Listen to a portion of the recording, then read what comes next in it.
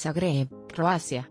Guión Croacia, actual subcampeona del mundo, lucha por confirmar su estatus y tratará de evitar un nuevo revés contra España, ante la que cayó goleada 6-0 en septiembre, en busca de su primera victoria en la Liga de las Naciones de la UEFA. Después de su hazaña mundialista en Rusia 2018, los croatas no han brillado en sus dos primeros partidos importantes. La humillación contra los españoles se añade al empate sin goles frente a Inglaterra, a la que recibió a puerta cerrada debido a una sanción de la UEFA a cuenta de los muchos excesos por parte de los aficionados del combinado croata.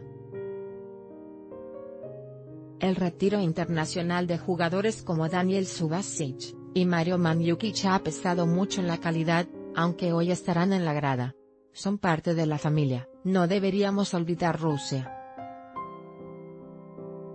Buscamos la unidad que tuvimos este verano, dijo el seleccionador de Croacia, Zlatko Dalic, quien ha pedido tiempo a los aficionados, y ha rejuvenecido el grupo para los partidos contra España e Inglaterra, de cara a empezar de nuevo. El capitán Luka Modric se reencontrará con su público con la intención de empezar realmente la temporada, que ha iniciado en baja forma